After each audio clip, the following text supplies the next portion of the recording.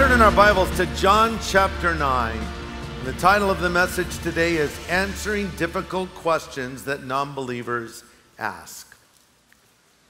Shortly after I became a Christian, I had the opportunity to pray with someone to accept Christ. This came as a great shock to me. I've told you the story before. I was only a couple of weeks old, maybe three weeks old in my faith, and I went out on the beach in Newport, armed with a copy of the Four Spiritual Laws, and basically read it verbatim to some lady there. And she prayed and accepted the Lord. And I was feeling, hey, I'm pretty good. You know, Billy Graham, move over. There's a new kid in town, and and I was full of zeal and excitement and wanted to reach lost people. Well, anyway, I had a bunch of buddies I used to hang around with before I was a Christian. And after I accepted the Lord, I remember telling them, guys, don't worry about me. I'm not going to go off the deep end. I know you've seen other people become Jesus freaks and they carry Bibles around and say stuff like, Praise the Lord. That will never happen to Greg Laurie. I said, you will never hear me say, Praise the Lord. I will never publicly carry a Bible or wear like a cross around my neck. I'm not going to be that way. So a few weeks go by, and after I'd led this lady to the Lord, I'm walking down the street, and who comes walking toward me but one of my old friends, also named Greg.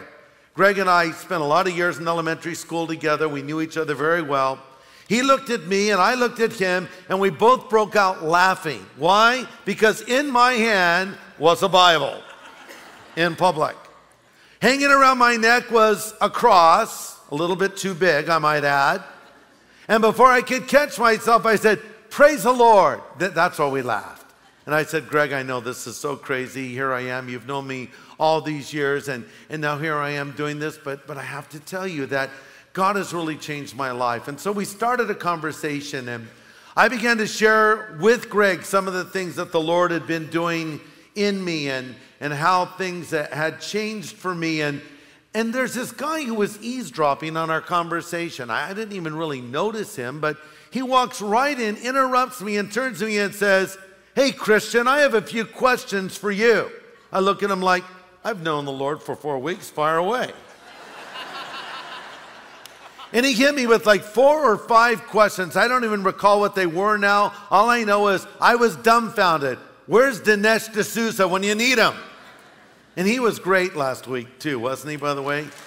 Really, really good. Appreciate Dinesh.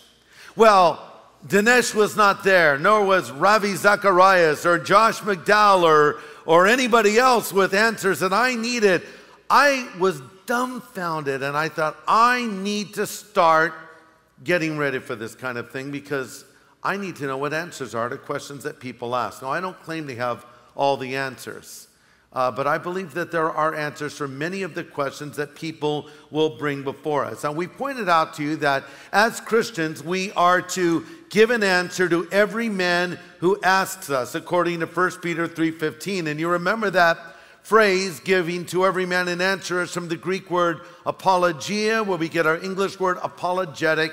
It means a legal defense is in a court of law. So it's sort of like you're making your case in the courtroom of public opinion with a person who is listening to you. But keep this in mind. In this courtroom, so called, you are not there as a prosecuting attorney, but a witness. See, a prosecuting attorney is going to win. He might even be wrong, but he's still going to win. A witness just says what they've seen. And sometimes I've seen Christians armed with all the information they can get assault non believers and effectively blow them out of the water. Yeah, I'd smoke that person.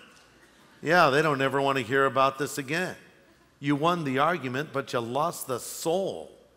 And that's not the objective. When we go to a person, even though we may know a great deal more than they know, we should present this information with love and grace and humility. In fact, we're told in 2 Timothy 2:24, the Lord's servant must not quarrel, but must be kind to everyone and gently teach those that oppose the truth, so God will change their hearts and they'll believe the truth and they'll come to their senses. Okay, so, when you're out telling others about Christ, you will often be barraged with questions. Now, sometimes people ask questions they actually want the answers to. And when you give them the answer, they'll say, That really cleared that up for me. Thank you so much. But a lot of times, these questions are like a smokescreen. They are there to get you off track. Basically, they are there to get you to shut up and go away. And we saw the example with Jesus and the woman at the well as he engaged her and began to speak to her heart. She tried to get him off on a secondary issue about the technical place where God ought to be worshiped. And he gave a basic answer to that and brought her back into the thing that really mattered. So when we're dealing with these questions, it's important to address what we are being asked. But remember, our core message to the non believer is the gospel. So, what are those questions? Well, I wish I could deal with all the questions we hear. We dealt with some of them last week with Dinesh, but here are the questions we'll deal with in our short time that we have together. Number one, how do you know the Bible is the Word of God? You'll mention Scripture, and people will say, Well, I don't believe in the Bible. I think it was written by men. In fact, it's full of contradictions. I always love to ask them to show me one or two, and rarely can they even come up with a half hearted attempt to bring any contradiction from the Bible, so called. They just say that. Number two, people will say, How can a God of love send people to hell? You say you believe that there's a hell. How could a loving God send someone there? You might also get asked, What about the person who has never heard the gospel? Will God send them to hell? And then the question you hear probably more often than any other if God is all good and God is all loving, why does He allow tragedy, injustice, uh, all the problems of life? So let's take a shot at some of these questions. Let's start with the one about the Word of God. How do you know the Bible is the Word of God? How many of you brought a Bible with you today? Why don't you grab it and just hold it up right now? This book, this book you're holding in your hand is the most amazing book ever written. Please put it down. That's it. That, that's long enough. This guy, that was way too long. No, I'm kidding. I'm kidding. It's the most amazing book ever written. It is literally God's message to us. Technically speaking, the Bible is not one book, but it's 66 books written over a 1500 year span from 40 authors, each inspired by the Holy Spirit, coming from every walk of life, including kings, peasants, philosophers, fishermen, poets, statesmen, and scholars. Yet they have one theme that, that reverberates from Genesis to Revelation, and that is the redemption of mankind. And every one of these men was directed, inspired by the Holy Spirit to write these words. And we say that, but how can we know the Bible really is true? Let me give you a few reasons. Number one, I know the Bible is true because it gave me the experience it claimed it would give me. I repeat, I know the Bible is true because it gave me the experience it claimed it would give me. Now, that's not the only reason I believe it, and perhaps it's not even the most convincing reason to the skeptic, but it has certainly helped me to personally believe. Isn't that true for you? I know it's true because it all happened for me. For instance, I read in the Bible that if I would confess my sin, God would forgive me my sin and remove my guilt. Well, I confessed my sin, and guess what? My guilt was removed. The Bible promised that I would have a peace that passes all human understanding, and I have experienced that time and time again. The Bible promised that God would answer my prayers, and I have prayed about certain things, and I have seen God faithfully answer over all these years. The Bible promised that God would never give me more that I could handle. And I've gone through hardships in life and have found God's word to be true. And it has sustained me. In fact, it has sustained me through the worst crisis of my life to date, and that is the death of my son. Yesterday marked the two year anniversary of the day he left us for heaven. It was a very hard day for us. And, you know, at this point in time, uh, people don't come up as often and, and say things, you know. They, they probably feel like it's been said and, and maybe they're over it. And, and well, listen, you know, just on behalf of all people who are grieving, who have lost a loved one, especially a child. We, we aren't over it, and frankly, we'll never get over it. In fact, in fact, do us a favor and don't ever ask us if we're over it. it. You don't get over something like that, but you do get through it day by day. And I've gotten through it day by day because of God's Spirit sustaining me through the scripture, reading the scripture, trusting the Word of God. My emotions don't always cooperate.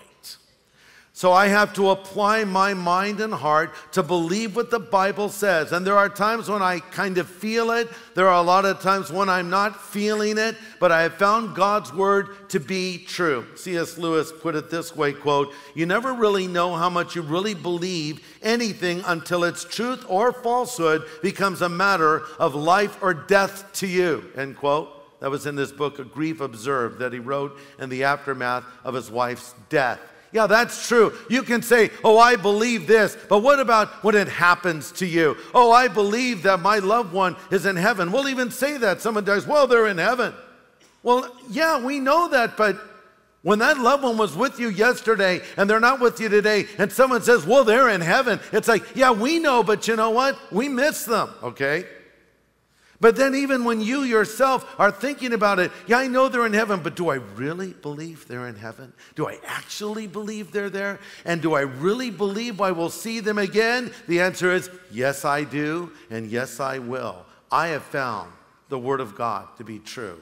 God has kept His promises to me. But that's not the only reason I believe the Bible is true.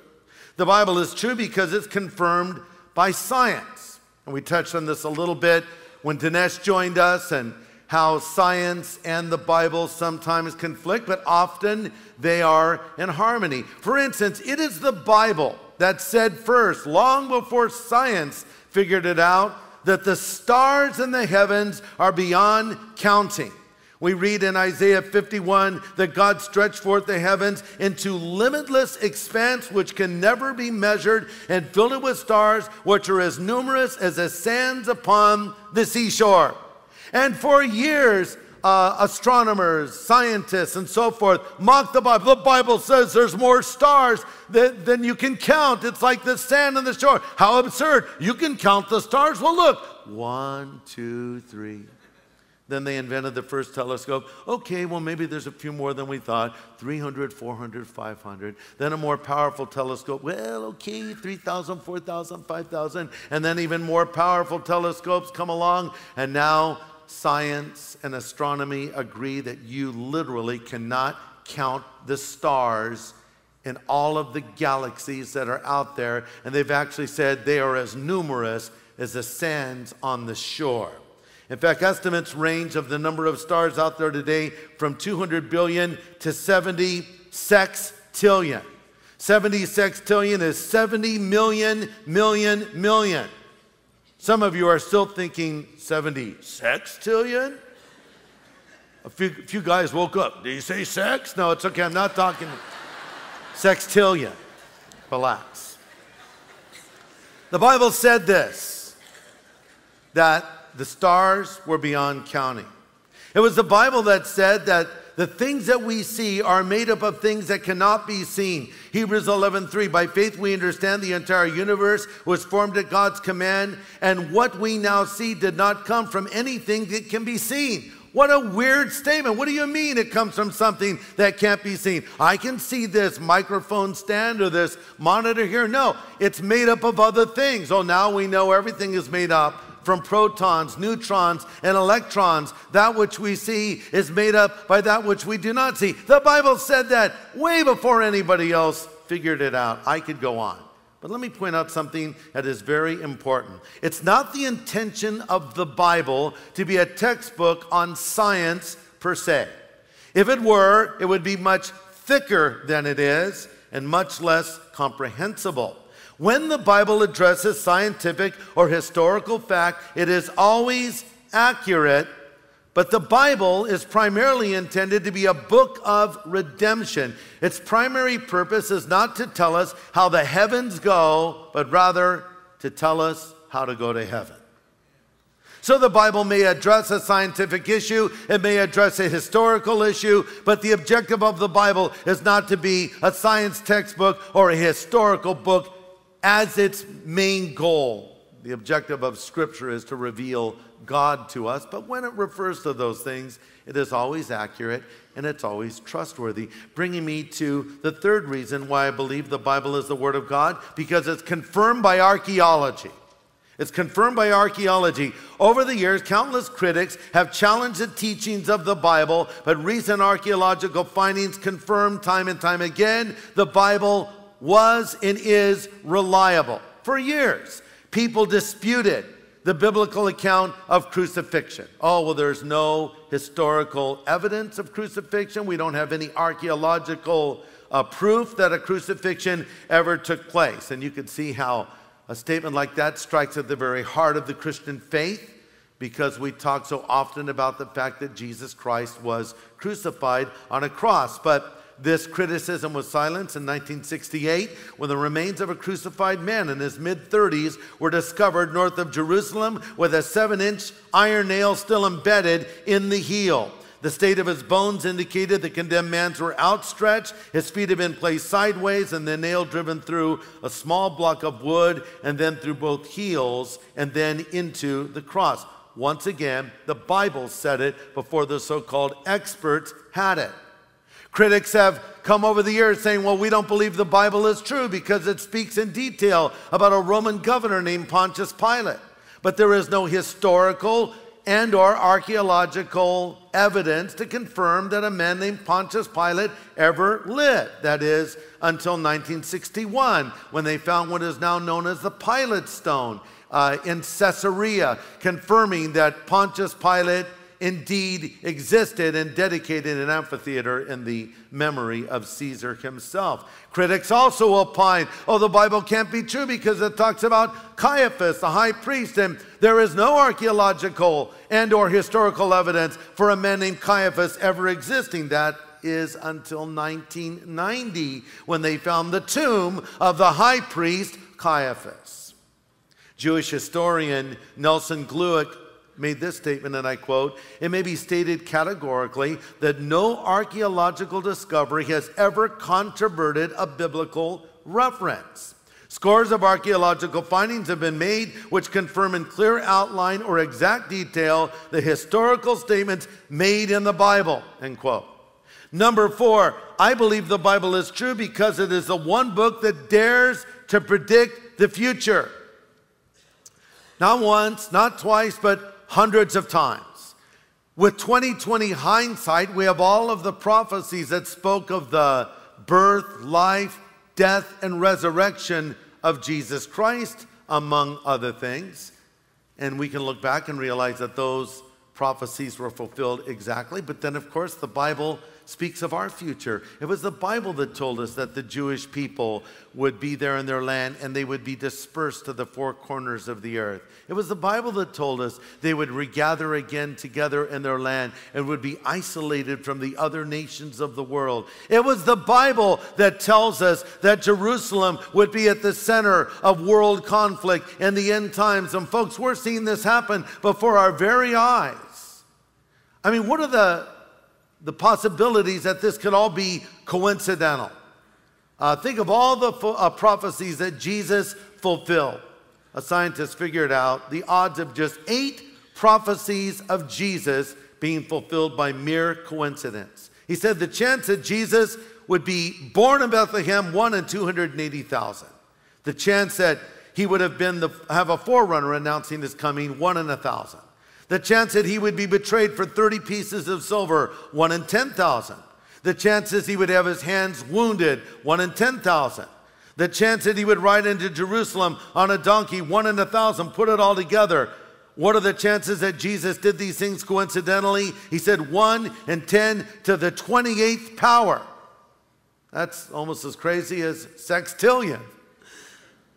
It, to illustrate, he put it this way He said, If you were to cover the entire state of Texas with silver dollars two feet deep, then mark one and randomly throw it out there and blindfold someone and have them walk across the state of Texas the chances of them reaching down and picking up the marked silver dollar are the same chances that Jesus could have had these things happen coincidentally. That's only eight of the prophecies. There were many, many more. Yes, the Bible is the book you can trust. I heard a story about a girl who was uh, out sharing her faith one day, and a little crowd had gathered around her, and an atheist was eavesdropping, thought he would humiliate this young girl. And with his big booming voice said, Young lady, you believe uh, the Bible? She said, Well, yes, sir, I do. Well, I have a question for you then. If you believe the Bible, she said, Okay. Do you believe all the miracles in the Bible? She said, Yes, I do. Oh, you do? Then you must believe in the story of Jonah and the whale. And a man was swallowed by a whale and then lived for three days and was spit out by the whale. You believe that? She said, Yeah, I believe it. It's in the Bible. Now, how, how did that happen? How could such an event actually take place? It's impossible, she says. I have no idea. When I get to heaven, I'll ask Jonah. The atheist said, Well, what if he's not in heaven? She said, Well, then you ask him.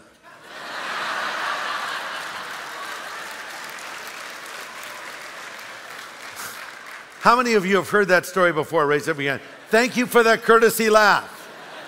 Right when I started the story, you leaned over and you said, He's going to do that lame story again. Just laugh, it makes him happy. He's getting old now. Okay, what about this one? How could a God of love send someone to hell? If your God is all loving, the person will say, how could he send a person to a place as horrible as hell? Now, by the way, I will try to engage a person in dialogue when they say things like this instead of saying, well, uh, well, that's an interesting question you asked there. Do you believe there's a hell? Well, yes, I do. And who do you think would go there? Well, no, I don't. Whatever they say, I'll engage them. Why do you bring that up? And, and then it's interesting that you say, oh, why would God send a person? So you know there's a God, you believe there's a hell. I'll try to draw them out. A lot of times, frankly, these are things that people say because they've heard other people say them. They parrot this information. And when you actually respond with a logical uh, argument, they back away. Well, what about that? How could a God of love send someone to hell? Well, the simple answer is God doesn't send anyone to hell. We effectively send ourselves there. That is not a cop out, that is an accurate statement. Because hell was not created for people. Hell was created for the devil and his angels. That's what Jesus said. And God doesn't want anyone to go to hell. He wants all mankind to believe in him and go to heaven. 2 Peter 3 9, God is not willing that any should perish, but that all should come to repentance. That's why he sent his son to be crucified on a cross and murdered in cold blood. And the Bible says if we neglect this sacrifice of Jesus and his offer of forgiveness, how can we escape if we neglect so great a salvation? So, no one is going to be accidentally in hell, nor will anyone be accidentally in heaven. People will be in heaven and in hell because of a deliberate choice, the result of a choice they made. C.S. Lewis said, quote, no one goes to heaven deservingly, and no one goes to hell unwillingly, end quote. Timothy Keller made this statement about hell, quote, people only get in the afterlife what they most wanted. Either to have God as Savior and Master or to be their own Saviors and Masters. Hell is simply one's freely chosen path going on forever. He wanted to get away from God, and God, in His infinite justice, sends us where we wanted to go. Yeah, a person will say, but what about the person who has never heard the gospel? Will a God of love send them to hell? Here's a short answer to that God will judge us according to the light we have received. In other words, God will not hold you responsible for something you have never heard before. Well, what does that mean? That means that you'll be held accountable for what you know. And everybody knows something. Now, some know a lot more than others. Some have sat through entire messages where the gospel was presented. They'll be held accountable for what they've heard. Uh, others have not heard the gospel. There are people out there today who have never had someone tell them about Jesus Christ. So are they off the hook? Is ignorance bliss? Not at all. They will be judged as well. According to what? Well, here's what Romans 1 tells us. And let me read it to you. And this is from the New Living Translation that is quite helpful in this particular passage. It says, God shows his anger from heaven against all sinful, wicked people who push the truth away from themselves. For the truth about God is known to them instinctively. God has put this knowledge in their hearts. From the time the world was created, people have seen the earth and the sky and all that God made. They can see his invisible qualities, his eternal power and divine nature, so they have no excuse whatsoever for not knowing God. So, what this is saying is they have the testimony of nature. No, nature does not present the gospel of Jesus Christ, but nature declares the existence of a creator God. And only a fool would ignore that. You look around, you go, there is a God. Plus, there is an internal compass. We instinctively know what is right and wrong. People say, well, no, I don't. I have my own rules. I live by my own standards, and I believe the good Lord or the man upstairs, or whatever they call him will judge me according to the standards that I have set in my life that I live by. Here's the problem, Buckaroo. You don't even live by your own standards and you know it. You break your own rules all the time. Well, that's why I keep writing new rules. Yeah, and lowering the bar all the time. See, you instinctively know what is right and wrong. Even a little child knows that. Watch a child when they're misbehaving, they know. My little granddaughter Lucy, she's so little. She's just learning how to walk, but she knows when she's going to do something bad because she'll, just before she does it, she looks over like. we have that internal compass inside of us. Paul writes in two, Romans 2:12, God will punish sin wherever it's found. He'll punish the non-believer when they sin, even though they never had God's written laws. For listen, down in their hearts they know right from wrong. God's laws are written within them. Their own conscience accuses them. You see? So they know instinctively right from wrong. They've broken that, not to mention that they've broken the commandments of God. Here's what it comes down to.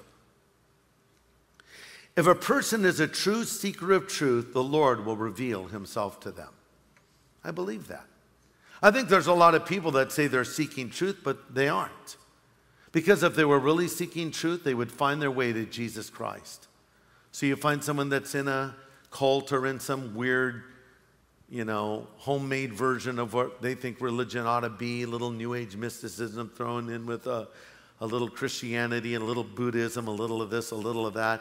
And, they say, well, no, this is my truth. You know, what they've done is they don't want to change their lifestyle, so they found a religion that suits them. Okay, that's the bottom line. Jesus said people don't come to the light because they don't want their evil deeds exposed. So they can give you all these reasons. I'm going to tell you the real reason. The reason is they don't want to change, so they come up with some gobbledygook to believe in, so they'll feel better about themselves. But if they're a true seeker of truth, if they really want to know God, God will reveal himself to them. Because the Lord Himself says in Jeremiah 29 13, You'll seek me and find me. When you search for me with all of your heart, I will be found by you. The Bible tells the story of a man named Cornelius, a Roman centurion. Uh, this was a man who was powerful, had great responsibility, uh, an intelligent man to rise to such a rank. Yet, unlike most of his fellow Romans, he did not worship the false gods that they had adopted from the Greeks. Nor did he worship Caesar himself, as was the custom of that day. Cornelius, to the best of his understanding, believed in the God of the Jews. This was the land they were occupying. The God of Abraham, Isaac, and Jacob, even though he was a Gentile, he believed in the God of the Hebrews. He wanted to know God deep down in his heart and he prayed to the God he knew. And guess what? God heard his prayer and sent Simon Peter to personally deliver the gospel to him. And when Cornelius heard it, he believed right on the spot. If a person really wants to know God, the Lord will reveal, will reveal himself to them. Okay, let's come to our last question, and this will use the remainder of our time up. I wish I had more time to deal with it. It's such a vast important topic. How could a God of love allow suffering? People will ask. Why is there sickness, even death, tragedy, and so forth? Okay, for the answer, let's look at John 9. And we're going to read verses 1 to 7. Here's a story of a man who was healed. Now, as Jesus passed by, he saw a man who was blind from birth. And his disciples asked him, saying, Rabbi, who sinned, this man or his parents, that he was born blind?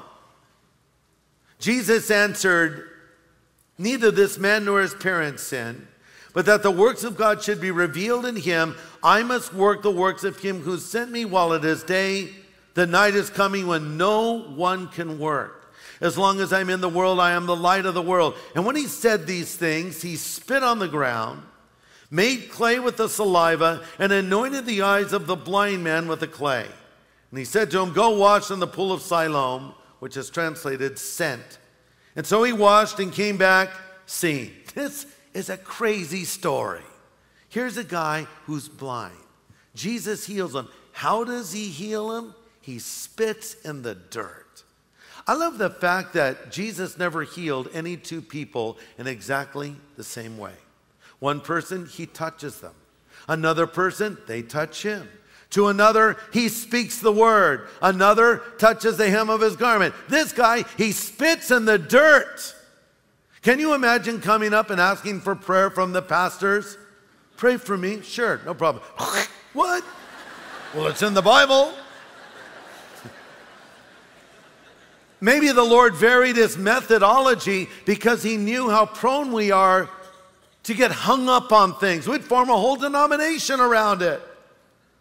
No, Jesus mixed it up so we would just remember it's God that does the healing. It's not a certain technique or a certain this or a certain that. So, but here's the question that is asked Whose sin, asked his disciples, this man or his parents? This really comes back to the essential question why does God allow suffering? How come this guy is blind? Why did this disability take place? Who's at fault? Is it his own fault? Did it come as a punishment to him for something bad he had done? Or was it his parents' fault? And thus the Lord judged them through their child. Jesus is saying, Oh, stop. It's nobody's fault. This man didn't sin, his parents didn't sin. And we want to always blame sin or the repercussions of the hardships of life on God. You know, the problem of pain, writes C.S. Lewis, is atheism's most potent weapon against the Christian faith. And it's true. Because life is filled with injustices. Things happen that just don't make sense. And sometimes people turn away from God because of this, because a tragedy in life. You know, their parents divorced, or a parent dies, or a sibling dies, or, or they get cancer, or somebody close to them has something horrible happen, and they say, I can't believe in a God like that, and they turn away from God.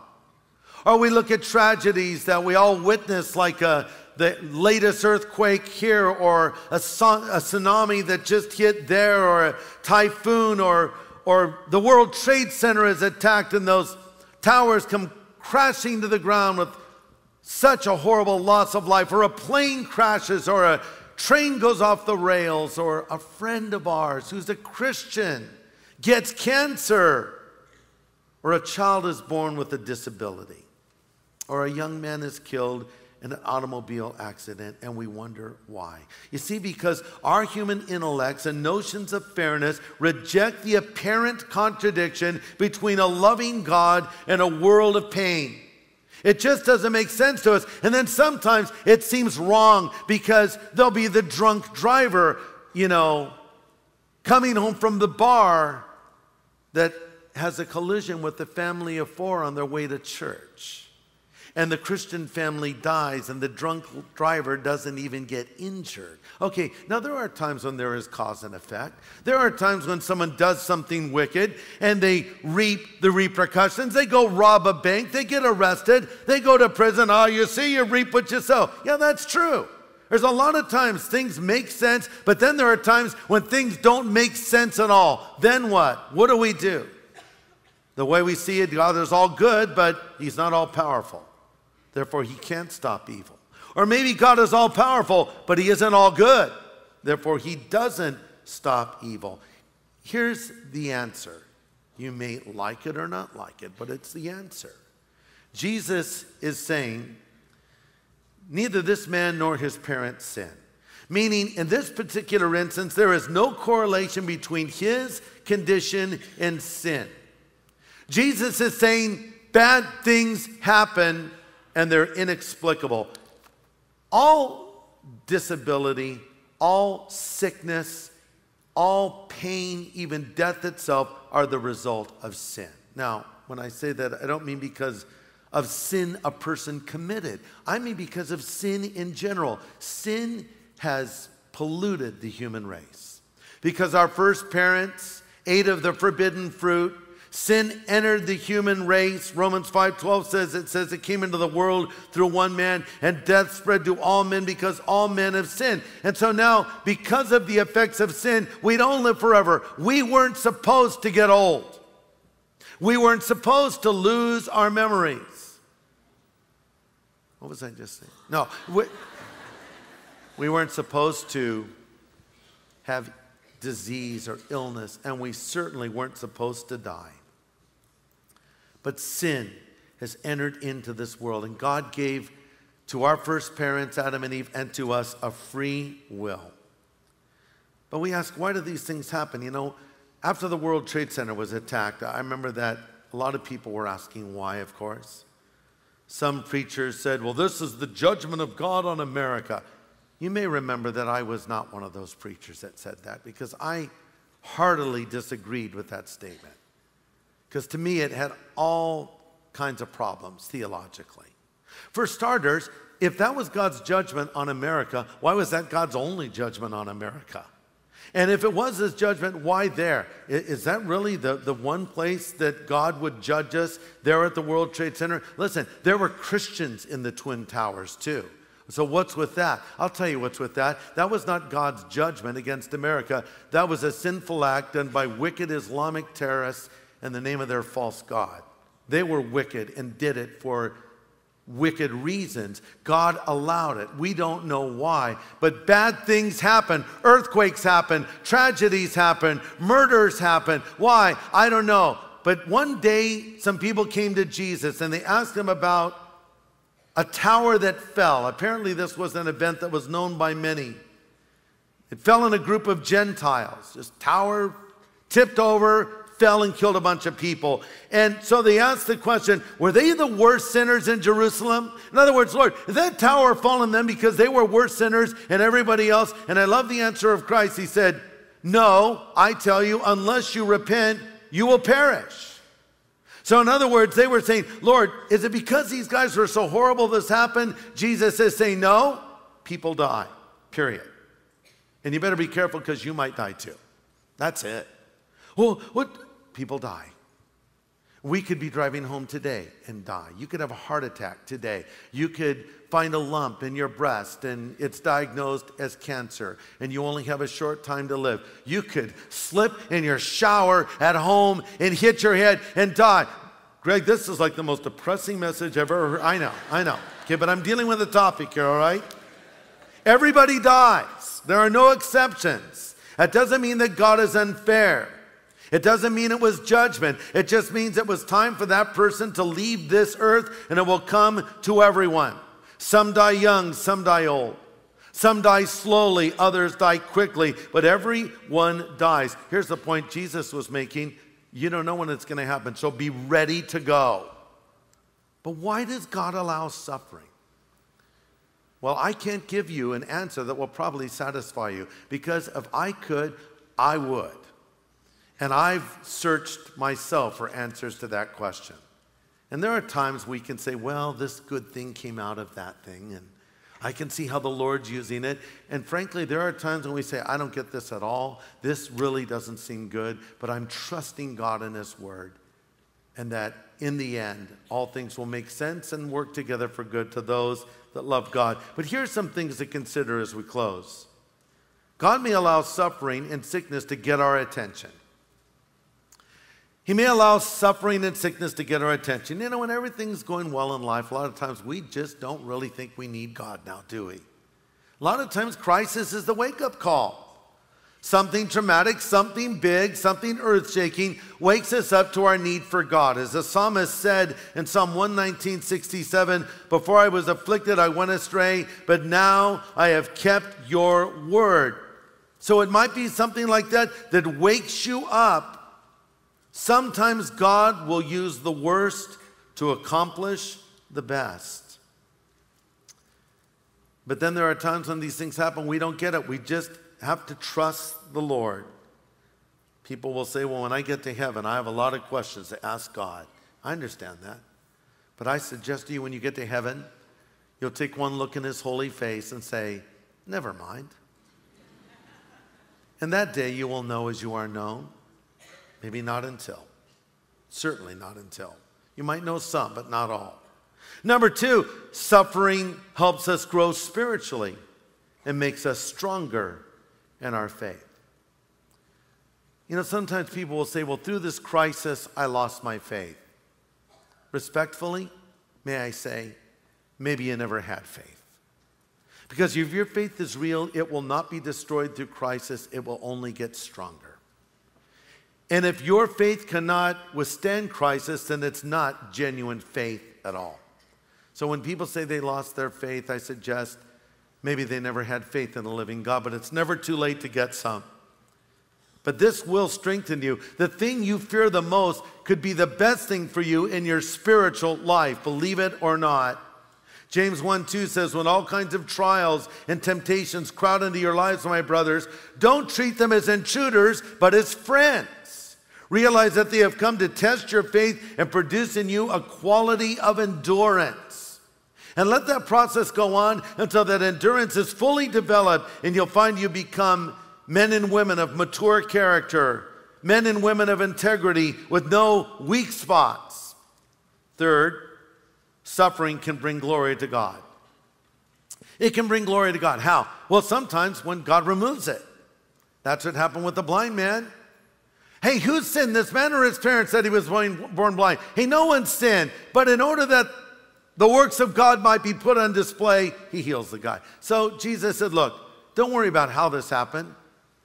Just watch what I'll do. And there are times crisis hits and we call on God and God comes through and crisis goes away. It happens. You know, you get that bad news from the doctor, you pray, and you go back in for a test, and whatever it was that was bothering them isn't there anymore. We can't believe this. We've never seen anything like this before. You have that situation where there's no way you'll ever have the resources to pay these bills, and boom, you have the resources. You have this other problem, there's no way will ever be fixed, and boom, it's fixed. God comes through, and you say, Look at what my God did. And people say, Wow, that's a powerful God you're serving. But then there are times when you pray and the dead person isn't raised, the sight isn't restored, the, the crisis isn't averted. In fact, it even gets worse. Well, then what? Then you can glorify the Lord through your suffering. And understand something that is a powerful witness to a lost world. See, anybody can be happy when the sky is blue and the sun is shining. See, people look at us as Christians and say, you know, you're, you're all so weird, you Christians. Your little smiling Christian faces.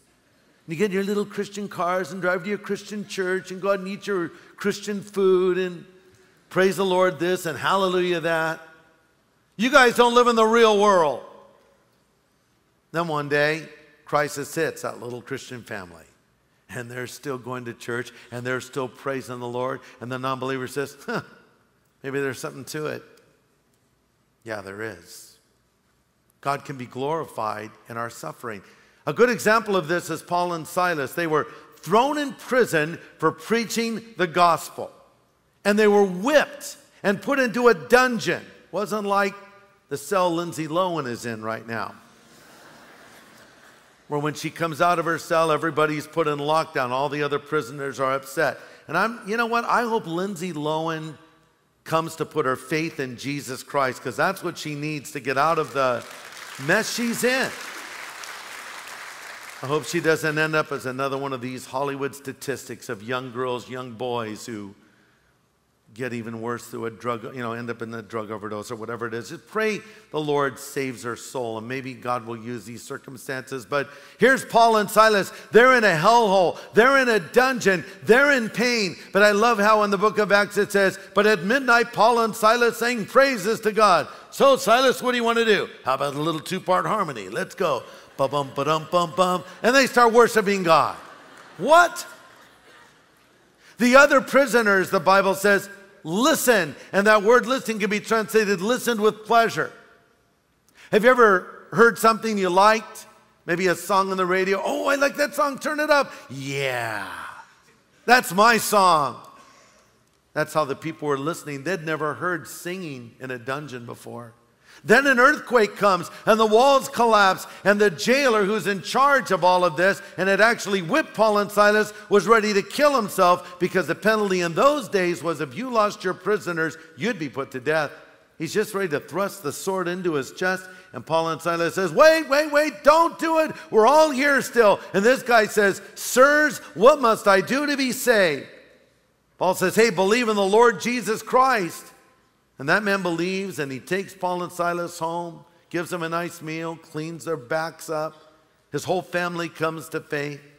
Why? Because they had earned the right to share the gospel with him by rejoicing in time of calamity.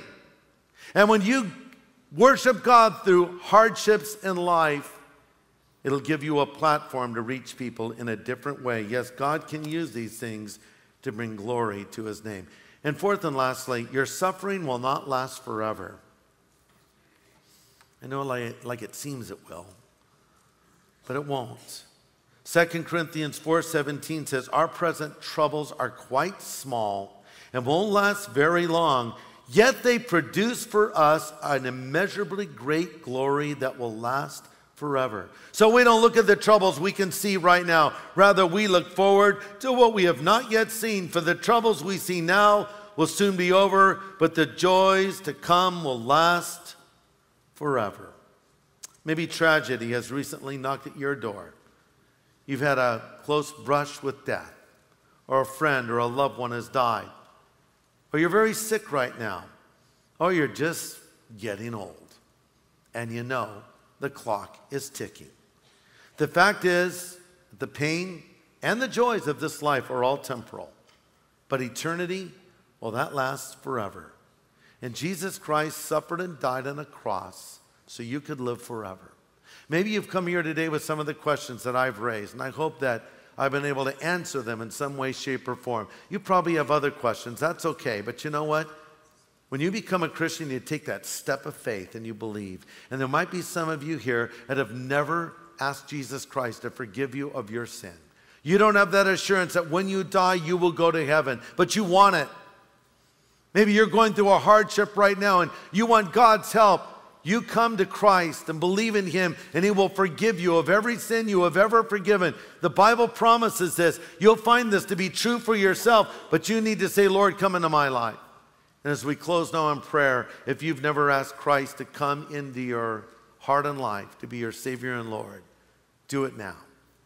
Let's pray. Father, thank you for your word to us now. And now I pray for any here that may not yet know you. They're still living in sin, plagued by guilt, terribly afraid of dying, lonely, empty, scared. Lord, would you help them to see their need for you and help them to come to you right now? We pray. Now, while our heads are bowed and our eyes are closed and we're praying, if you want Jesus Christ, to come and live in your life, if you want Him to forgive you of your sin, if you want to know that when you die, you will go to heaven, if you want your guilt taken away, I want you to stand to your feet right now, and I'm going to lead you in a prayer. God bless you. Just stand up, stand to your feet, and stay standing if you would. God bless you. Yeah, good. Stand. Up there in the balcony, stand to your feet if you want Christ to come into your life today. God bless you over there on this side. God bless you in the back, up in the balcony. God bless all of you that are standing. Know that you're not alone if you're standing right now. Don't worry about that. Just stand up. Don't be embarrassed. You're among friends and family here today, okay? You want Christ to come into your life, stand to your feet. If you're outside in the amphitheater, you stand up. I can't see you, but it really doesn't matter if I see you. This is between you and God. If you're up in the court building watching the big video screen, stand to your feet right now. And I'm going to lead you in a prayer of asking Christ to come into your life. Just stand up wherever you are. This final moment, if you haven't stood yet, stand now if you want Jesus Christ to come into your life, and I'll lead you in this prayer. God bless you. Anybody else? Stand up. God bless you, sir. Up there in the balcony in the corner, God bless you. Anybody else? This final moment. Stand up to your feet. God bless you and you. Anybody else? Stand up. God bless you. God bless you.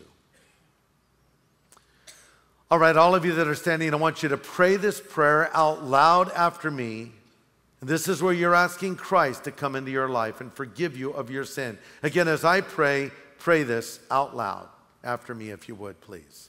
Pray this now Lord Jesus, I know I'm a sinner. I ask you to forgive me of my sin right now. Come into my life. Be my Savior. Be my Lord. Be my God and be my friend. I choose to follow you now, Jesus, from this moment forward. Thank you for accepting me and forgiving me. In Jesus' name I pray. Amen. God bless each one of you that stood and prayed that prayer. God bless you guys. Amen. Praise God.